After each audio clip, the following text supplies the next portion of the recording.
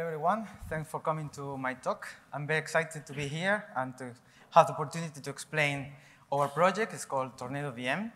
And I'm going to start by telling you a little bit of history. So Java, in early days, wasn't famous because of its performance. However, programmers prefer to sacrifice performance at the cost of better programmability and portability. Later on, Java introduced the first just-in-time compiler, and that was a huge jump to achieve high performance. That was around 1997, 1996, I believe. And uh, the main processor at that time were CPUs. However, now, 2019, I think situations have changed a little bit. We have more type of processors in play. We have GPUs, we have FPGAs, we have custom designed chips. For example, Google has implemented its own processor for TensorFlow. And most likely, due to the crisis of Moore's law, we're going to find more type of hardware, specialized hardware for specialized tasks in near future. However, there is no a single virtual machine that can target all of them. And that's where Tornado VM comes in place. So Tornado VM is a plugin to OpenJDK that allows you to run Java programs on heterogeneous systems.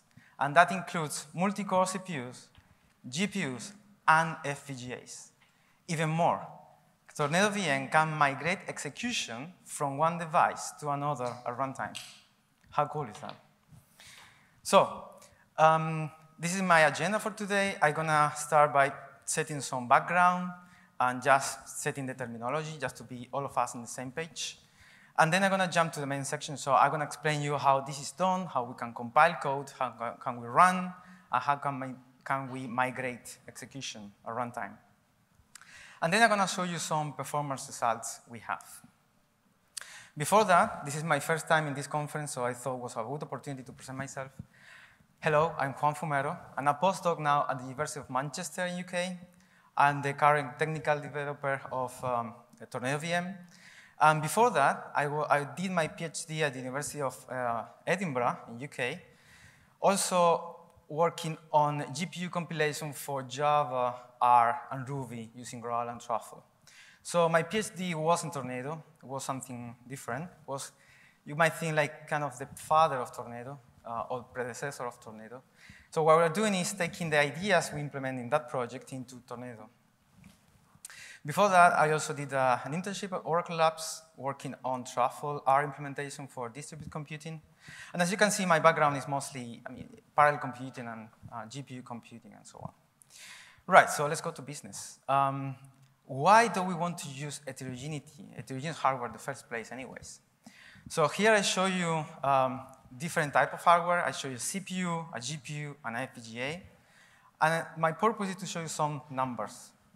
So if you get a CPU Ice Lake, um, for example, you get up to eight cores. You can have also AVX instructions. And if you use the GPU that is integrated inside the CPU, that CPU, you can get up to one teraflop of performance. However, let's look at the GPU. That's a Pascal microarchitecture, is two generations old from NVIDIA. And instead of having eight cores, you can have physical 3,500 cores. Um, that gives you a performance of up to 10 teraflops, so 10 times faster, like, theoretically, than a CPU. And similar situation applies for FPGAs. So in this talk, I'm going to talk about a lot about GPUs and FPGAs. So just, I believe many of you know this already, but just to set up the terminology, what is an FPGA? FPGA stands for Field Programmable Gate Array. Basically, it's a piece of hardware that you can do whatever you want after manufacturing. So the FPGA has inside uh, logic slides like composed of LUTs, flip-flops, uh, programmable BRAMs, and DSP blocks. And basically, you prototype your circuits. So it has been uh, traditionally used for uh, digital prototyping digital circuits. However, researchers and industry realized that this type of hardware can be used for acceleration. Actually, many people use for Bitcoin, for example. Um, so you can see this as, as a wiring your algorithms into physical hardware. So spoiler alert, Tornado can target FPGAs, which means that we can wire the Java methods into physical hardware. Okay, so let's jump to the GPU. Uh, I, may, I, I, think many of you know this already. It's more familiar than FPGAs at least. So GPUs stand for graphics processing units, mainly used for rendering and graphics processing. However, in the pipeline of computation to do the graphics, uh, some stages in that pipeline can be used for um, uh, general purpose computation. And that's where CUDA and OpenCL, these, these languages come from. My point here is that with CUDA and OpenCL, so the programmers, to use these devices, need to know the programming model first. But second, and to me is more important, they need to know architectural details. This is a, this you need to have, you have to know this. And this might be a killer feature or a handicap for many potential users. For example, uh, L1 cache on GPUs are not uh, coherent, which means that if you have data in there, you have to add manual barriers. The users also need to know how threads are organized inside the GPU, and so on and so forth. So don't take this as a tutorial for GPU. My key message here is users need to know, apart from the programming model, architecture details, okay? Right, so why do we want to use heterogeneous systems anyways? Here I'll show you with Tornado, execution with Tornado. So eh, it's a application called DFT. X-axis shows input data, Y-axis shows speed up against hotspot. And I show Tornado running on multi-core i7, an integrated graphics by Intel, uh, so Intel HD, an FPGA by Nallatech, and an NVIDIA Quadro GPU. And as you can see, this system has, I think, eight cores multi-threading. So you can get thousand speedups. And this is in Tornado, right? So uh, that's a reason why we want to use these systems. Um, right, so I talk about hardware. Now I'm going to switch to the programming language perspective. How do we use them? So if you want to use FPGA, traditionally you use RTL or VHDL, VHDL.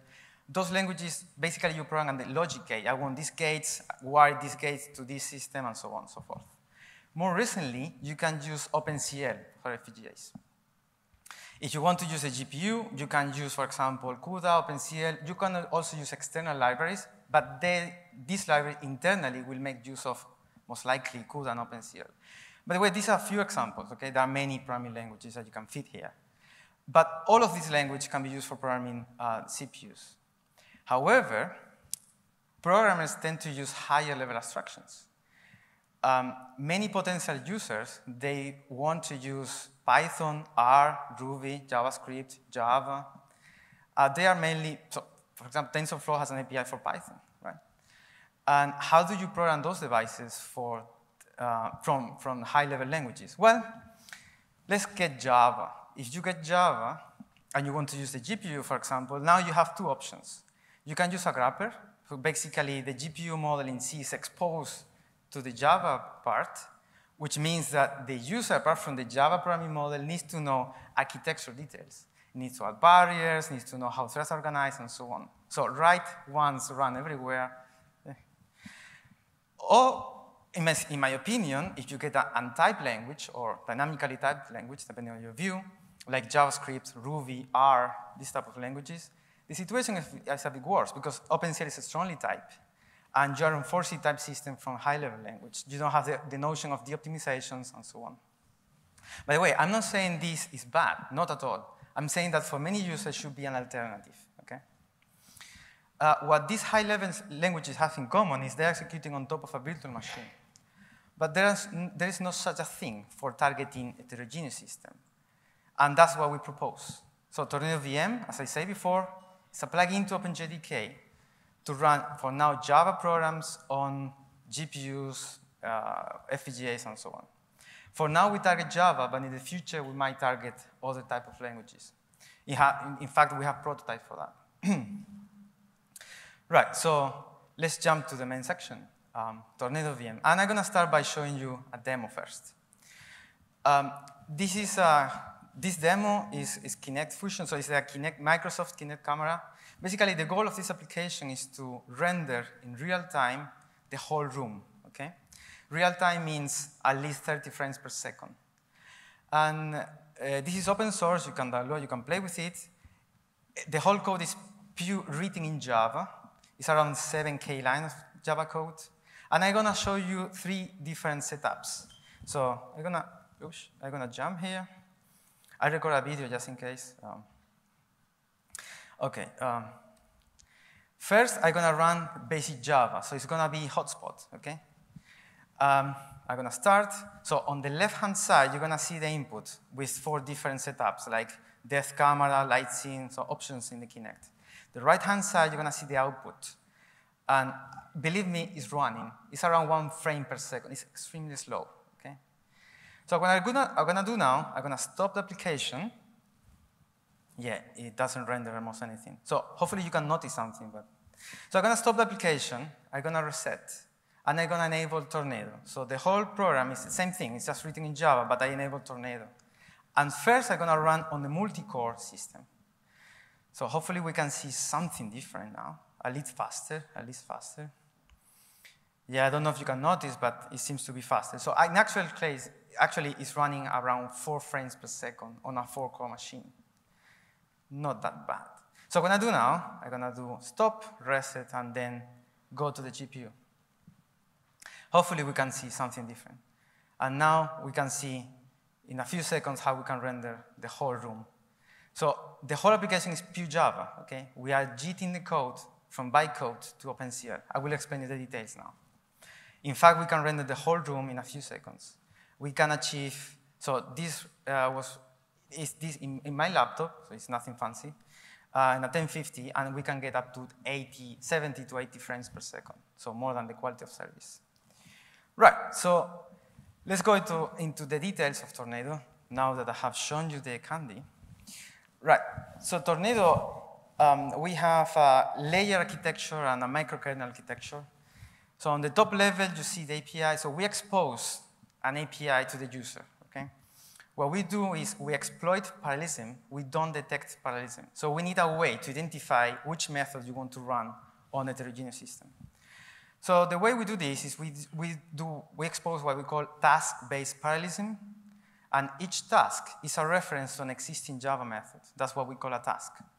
You can create a group of tasks, that's what we call task schedule, and we can compile all of these tasks on the same compilation unit and run on one device. Then we have our runtime that optimize data transfer between those tasks. Plus, we do our own bytecode generation. So we have, on top of Java, we have our own bytecodes. Obviously, we need an interpreter, bytecode interpreter to run those bytecodes, and the interpreter eventually we'll get a JIT compiler. For now, we use Graal. We extend Graal to a, with a new backend from Java code to OpenCL. So this is a very high-level overview. Now I'm going to go into the details of this. I'm going to start with API. I'm going to start with an example. You have a class compute, and you have a method, matrix multiplication, and what you write there is the sequential application. We expose a few types, for example, matrix 2D, but you can use primitive. Uh, and what is inside the method is legal Java code. Okay, we don't support full Java. We support a subset of Java. But basically, you can write any Java code in here.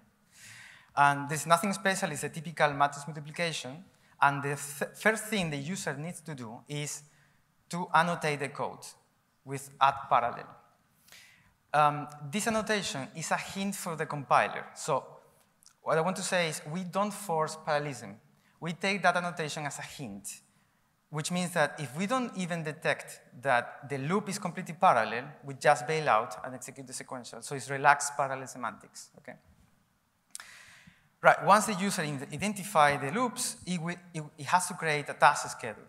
So remember, a task schedule is an object that creates a group of tasks. Each task is a reference to an existing Java method. So on the bottom, you can see create an object called task schedule. It pass a name, random name. It's just, if you want to change the device, you refer to that name at runtime. And then create task dot task dot task dot task. How many tasks as you want. In this case, we only have one. We call, okay, compute the task T0, whatever name you want, and then point to the class compute method mxm. And then you pass the parameters as a normal invocation call, right? And then you need to define which variable you need to copy back to the host site. In this case, it's the matrix C, we expect the output there. And then you call execute. as easy as that.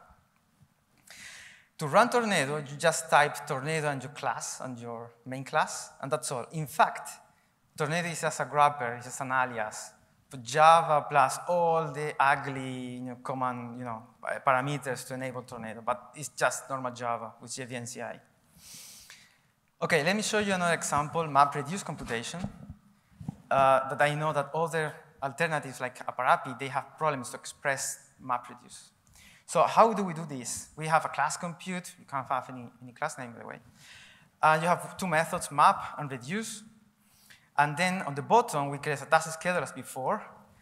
And then we can say create two tasks. The first one is map. The second is reduce. And you pass the proper references to each method. One of, one of the things I want to point out, we have a call called stream in and then stream out. This, in my opinion, is real stream computing. Uh, an alternative is Stream API in Java 8, which is not real streams. In fact, as soon as you consume the stream, you cannot reuse it. Okay? You have to create a new stream. In our case, we define the computation, and the channel is open with new data coming in and out. Right? And you can see plenty of examples. Uh, um, Tornado is open source, so you can have a look. At, we have many, many cases in there. Right. So let's go to something more interesting, hopefully. Um, how do we compile this? How do we execute this? Well, first of all, the user annotates the code and then compile with normal Java. There is no modification in there. Then we plug in Tornado, basically JDK with this extension for Tornado, and we start running the application. So the first thing we do is data flow analyzer is part of the runtime, and the runtime will orchestrate the execution on the target device. For the compilation, we extend Graal. Graal internally have, well, this is technical details, but have different tiers of compilation, have the high-level IR, which uh, uh, architecture-independent optimizations, mid-IR with memory optimizations, and low IR with architecture-dependent optimizations. So what we do is we have the Graal IR plus our own nodes inserted in the, in the IR. Basically, this allows us to have the typical Graal compilation or JVM compilation in, combina in combination with our own optimizations.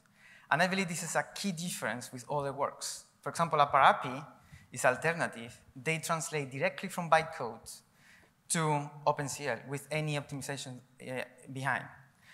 In our case, we can say, oh, Graal allows us to do partial escape analysis, uh, loop unrolling, uh, constant propagation, this kind of stuff. Plus, we can pass over on. We say, oh, this loop is parallel. So remove the loop, well, actually, replace the loop node and introduce the global ID, which is the loop indexing with OpenCL, for example, and this kind of stuff. And at the end, we have a, another source. It's an OpenCL C code, which means that we need another compiler after that to compile this to binary. If we're using NVIDIA GPU, we invoke the NVIDIA driver, and we, get, we will get the PTX back.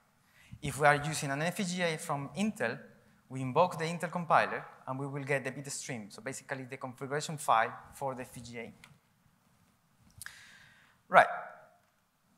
Another key things we do is compiler specializations. And that means that the code we generate for CPUs is different the code we generate for GPUs and FPGAs. The reason is OpenCL, the code is portable but performance is not portable at all. So one example is, okay, you have your um, method, and then we do we create a, we invoke to, to, to build a Graal IR, and then we say, oh, you are targeting GPUs, so specialize the IR to use a fine-grained parallelism, which means that each thread is going to compute its own data item. Um, I saw an example in Java, but actually all the transformations happen directly in the Graal IR or Tornado IR. If we're using the CPU, we say, okay, specialize the IR to use coarse grain parallelism, basically. So each thread is going to compute a range of data items. Another example of a specialization is for FPGAs. And in this case, is, yeah, we need to do it because otherwise, without any specialization, we don't get any speed up at all, at all. In fact, we get slowdowns for many of the applications. So how do we do that? Well, I show an example. We have two parallel loops on the, on the left. We have an IR that represent part of the, this computation. And if you're familiar with GraalIR, you will recognize many of these nodes. Some of the nodes are from Tornado. For example, get global ID is Tornado, global size is Tornado. And for the FPGA, we need to set up the configuration, the thread configuration directly in the source, which means execute this in 64 threads by 64. Okay? So that's a, a, a scheduling attributes. We need to define also the loop unrolling factor. And this, uh, we need to do this because we can save circuits on the FPGA, right? And that gives us a better speed up. Okay, so by doing these transformations, if we don't do anything, we get, for example, for DFT, we can get up to 5x performance on a 8-core machine. It's not that impressive. We get some performance, but it's not that impressive. If we enable these optimizations, we go up to 240x, which, hey, now start, we start talking now, right? Okay, cool. So I'm gonna keep this one. So I'm gonna jump to something more interesting, hopefully. And I'm going to talk about how we can configure a runtime, how can migrate tasks between devices. So Tornado can be seen as a VM in a VM. Why? Because we have our own bytecode interpreter, we manage execution, we manage compilation, we manage memory, we know we handle byte buffers and so on, and we can perform task migration. So the workflow is as follows. So if you run Tornado, but you don't have any task schedules inside, you start with OpenJDK, you run in interpreter mode. If the code gets hot, you get whatever compiler is underneath, C1, C2, Graal, and you get the CPU code. However, if you run Tornado and you have the task schedule, you're going to reach the, the uh, Tornado compiler. We do a data flow analyzer, an optimizer, and then we generate bytecodes. So we have our own bytecode interpreter. Uh, with, with this strategy, we can easily migrate execution between devices. I know this is very abstract, this is just an overview, and I'm gonna do now is I'm gonna go into details to how this works. Okay, so I'm gonna go through an example. Uh, it's the same I showed you at the very beginning, the map reduce computation. So just to recall, um, we have a task schedule, we have two tasks, map and reduce. And we, for each task, we pass input, output, input, output. But for the first task, the input is the real input. The output, yeah, it's the output from the first task, but I don't need it back on the host. It's a temporal variable that can keep, can stay on the device. In that way, I save data transfers. I haven't mentioned yet, so the, why is important to say data transfer? So in these systems, memory, are, uh, memory is separated. So the, the, GPU has its own memory that I need to pre-allocate and perform data transfer between devices. And that's a very expensive operation. So if I can save some data transfer, I can get speed up overall. So then we build a data flow graph, and this is on the right. For the input, we say, ah, this is a copy in, you need to copy the content, well, allocate and copy the content to the target device.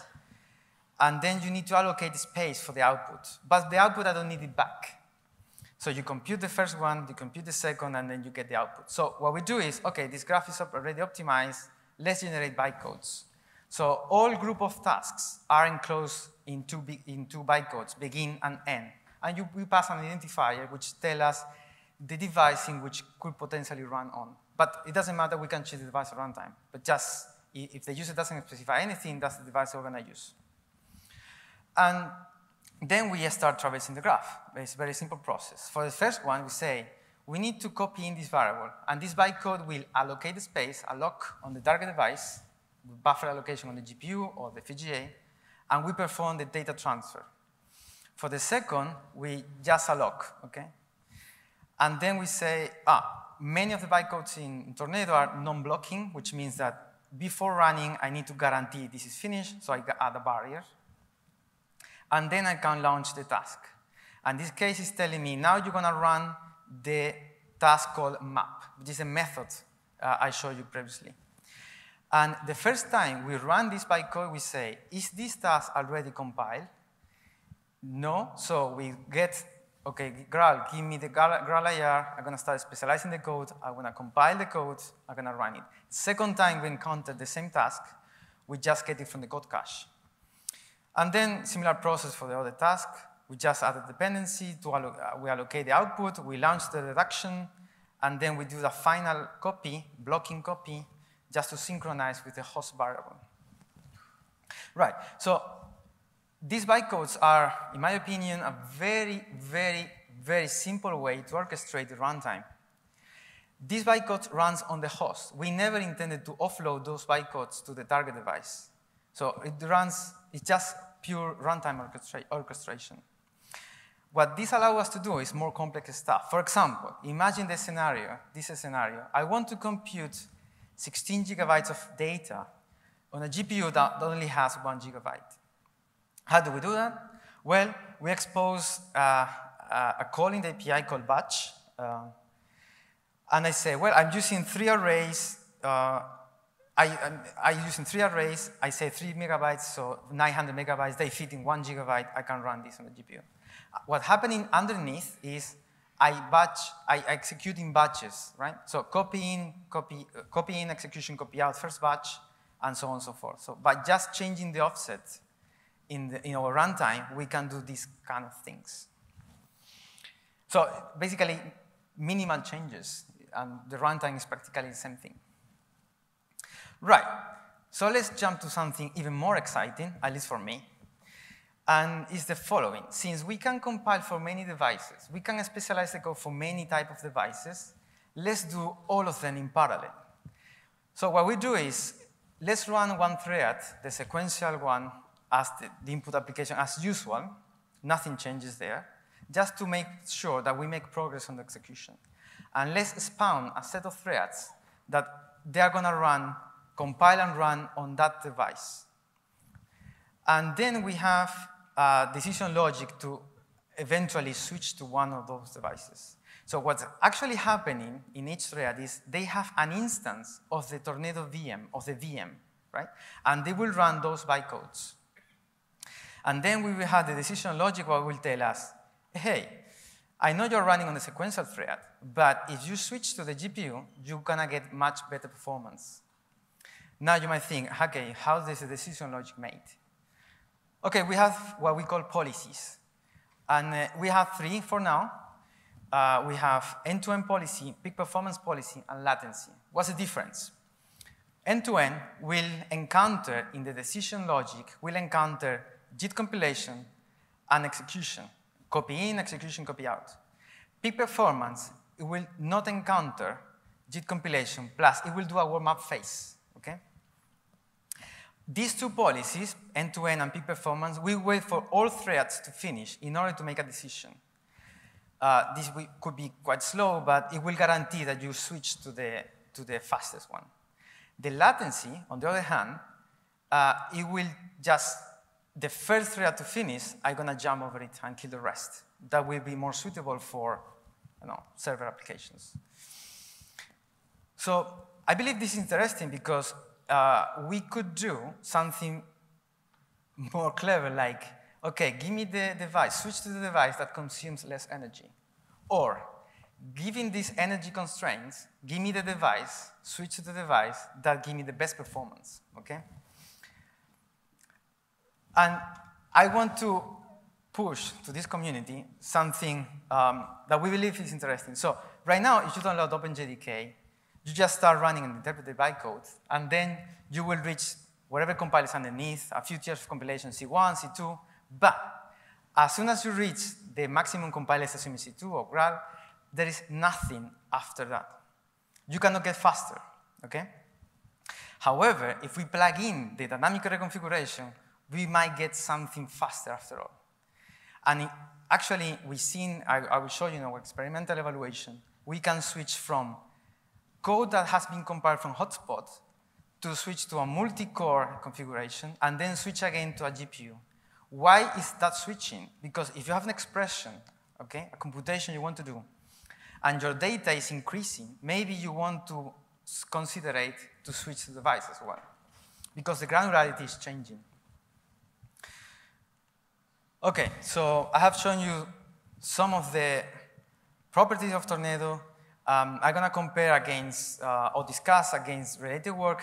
I think many of you have heard about these projects, Sumatra, Aparapi, or IBM GPU. um, all of them actually only focus on GPUs. Meanwhile, Tornado focus, it doesn't matter. It, it's not only focused on GPU itself, right?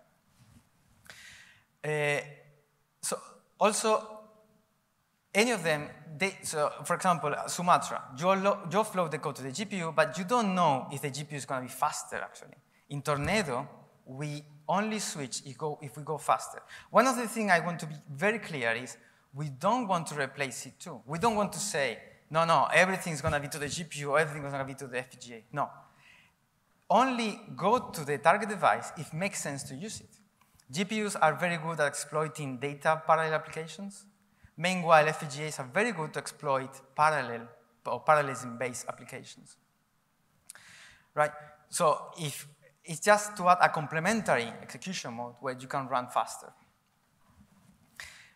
Um, also, also, while preparing this talk, um, I realized that there is a pending, is a uh, pending uh, Java enhancement proposal for Sumatra.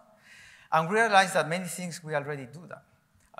So, well, the first one is obvious. No syntactical changes to Java. Well, we have our own, own API, so this one is not, um, is not that clear. Then, obviously, we have a detection, auto-detection of the software stack. We have, I hope I convince you that we have an heuristic to decide where to switch. It's because it gives us better performance. Uh, we have in, in, performance improvement, well, you have to believe it. I'm going to show you now in experimental evaluation. And uh, then we also have some pending things, like if we get an exception for now, it, we will crash. But it will, it's easy to just be deopt and then run the sequential application. That's, that's very easy to support. And then we have others like uh, will not expose any additional security risks. Well, I'm not an expert in security, but what I can tell, of course, GPUs has, uh, has security issues. And we expose the same issues that GPUs or FPGA have. However, in Tornado, I see this as an opportunity. Why? Because we are under the VM. So the VM can control many things for you. I'm not saying that this will solve all security issues, but for sure, many of them. And then, for example, in offload, also the, or the possibility of offloading code to other, other languages like R, Ruby, and so on. So for now, Tornado does not support that, but the prototypes I did in my PhD, we did it. So we know the path how to achieve that. Apart from that, we have additional features that we believe are very interesting. Like, as I say, we don't focus on one target device, like GPU computing is the future. No, no, no. We target many, and we can select, depending on the application, the best one. We also perform task migration, and we specialize the code. And then we have others, like we also can accelerate uh, existing, existing libraries. So in fact, we can call, so in your Java method you want to compile it to run on the target device, you can have uh, calls to native code. In that case, we solve it just using intrinsics, or accelerate external libraries as soon as we can support the features that the external libraries have. And then we can do other things that I know is difficult thing for, uh, for example, APARAPI or, uh, or IBM, uh, like explo automatically exploiting tier level of, uh, of the target device. So GPUs has different level of memory that you can play with. They have constant memory, global memory, local memory, and private memory. And you can program all of them to maximize performance. So the way APARAPI, for example, solve this is include API calls to the users. We can do this automatically in the IR. We're working on that, actually. Okay, cool. What about performance? Well, um, I'm going to show you now the dynamic reconfiguration in action. Remember that dynamic reconfiguration is the ability of Tornado to dynamically switch to the target device. So here I show you two benchmarks, DFT on the top and body on the bottom, with two different policies, end-to-end -end and peak performance. X-axis shows input data, input size, Y-axis shows speed up against hotspot. The line shows the ability to tornado, of Tornado to dynamically switch. And the dots or, or squares shows I just select this device, no static change, no dynamic changes, okay? So, for example, in the case of DFT end-to-end, um, I show that first, if the, if the input data is very small, Tornado VM will tell me, don't go to the GPU, just stay here. Okay, the data is too small. It doesn't make sense to switch. As soon as the data increases, uh, we see that either we can use a multi-core system on the GPU, and Tornado will do that automatically for us. If we see the peak performance DFT, so both uh, top right, we see that we start directly on uh, multi-core, and then we switch to the GPU. More, interesting, more interestingly is, imagine we don't have the GPU, which is the normal setup in servers right now. We have a multi-core system plus a FPGA attached. We will start running a multi-core, and then as soon as the data increases, like uh, pretty much, we will start, we will switch to the FPGA? And that's very interesting. Right, so we can run on many devices. We, here I show you performance on multi-core system, 32 cores, NVIDIA GPU, uh, 12 cores CPU, integrated graphics, and AMD GPU. In this case, it's just a static decision. And for some applications, like Scopy or SaxPy, we don't show in speed. That does make total sense. There are too much data to copy to the device, and there is almost nothing to compute. So for those cases, don't go to the GPU or FPGA. However, for others like Monte Carlo, matrix multiplication, DFT, we get very good speed ups. Right? right. So, of course, we have limitations. I'm going to talk about a few of them.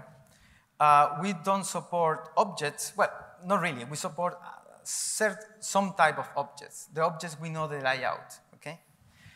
Uh, but we cannot support inheritance, this kind of stuff. Um, we don't support recursion, for example. The, the thing is, in OpenCL, you cannot express recursion uh, or dynamic memory allocation. However, I have to say that, in my opinion, use the accelerator when it makes sense to use it. We can add support for these features on the target device, on the GPU or the FPGA, but the complexity of the generated code to support those features are going to slow down the execution. So it's a trade-off. And because this, we have this ability, if the features doesn't match exactly what you want to accelerate, just stay with hotspot. They, they do very good job, right? Uh, then for exceptions, we don't support it, but we are planning to support exceptions in the future. Uh, future what? There are plenty of things to do here. Uh, for example, exploit full capability of the GPU's FPGAs. I show you one of those, for example, exploit tier of uh, memory on the target device, include energy policies, uh, we believe that's very interesting. Or, for example, include multi-device support. What, what does it mean? So remember that we can create a group of tasks, and this group of tasks are going to run on one device. What we want to do in future work is split, split this group of tasks into multiple devices. Like imagine you have two, three, four GPUs. right? And we're working on also to support more skeletons, like stencil, scan, filters, this kind of stuff. Ideally, we want to do it automatically in the IR. We're pushing for that, but it's a hard problem. Right, so how this is being used right now? Well, Tornado is part of a, a project, European project called E2Data. And these are all the partners. And the goal of the European project is to provide end-to-end -end solutions that fully exploit heterogeneous hardware for distributed systems. Uh, basically, we have Flink inside. Uh, you, know, you know Apache Flink, Spark. So we want to execute a typical MapReduce computation in a distributed setup and in the final node, use heterogeneous systems. So the component, the VM, is the Tornado itself, and the rest of the partners will provide the logic. In fact, some companies like Exus in London or Neurocom in Luxembourg, they're using Tornado for accelerating machine learning, uh, natural language processing, this kind of stuff. And uh, well, this is our overall picture of the E2Data project, the European project. So basically you have a distributed scenario, each square represents a compute node, and in the final node, you will have Tornado that can run on the target device. Um, so I, I will need another talk to explain the details of this project, but stay tuned or ask me later if you want to. Right, so just to sum up, um, Tornado first of all, Tornado is available online, GitHub. We have also uh, Docker images for NVIDIA GPUs and Intel integrated graphics. So if you don't want to install anything, I understand because you need to deal with the drivers and so on. So you just get the Docker image and run it. Right? In fact, feel free to ask me later. I can run the uh, Docker images in my laptop. Um, of course, I know I didn't build this by my own. Uh, we have a team. We're growing, uh, mostly composed by PhD students, master students, but we have a bunch of academic staff and research staff. And we are looking for collaborations um, and feedback as well. So uh, we believe that this is useful for the Java ecosystem. And you are the expert, so uh, we are happy to hear your, your opinion about this. As a takeaway, just to finalize, I show you Tornado VM as a plugin to OpenJDK to run Java on heterogeneous systems. I show you the dynamic reconfiguration. We can, with the dynamic reconfiguration, we can, how can migrate tasks at runtime between one device and another. In fact, we can be see we can see this as a new tier of compilation for heterogeneous devices. And I have shown you uh, promising speedups, obviously the benchmark I show you, but we believe that this is very useful for many users. And with that, I conclude my presentation, and yeah, if you have questions, I'm happy to take them. Thank you very much for your attention.